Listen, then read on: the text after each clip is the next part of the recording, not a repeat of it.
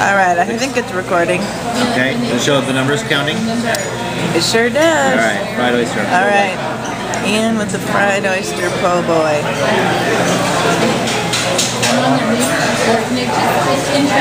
Yeah. Yeah, see what I'm saying? yeah.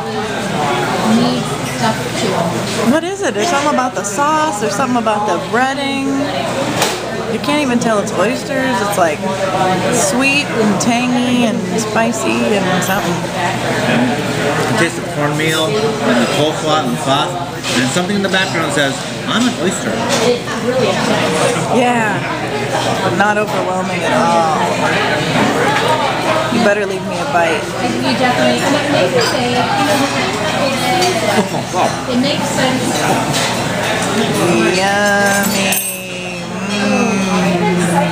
Mm. That was great.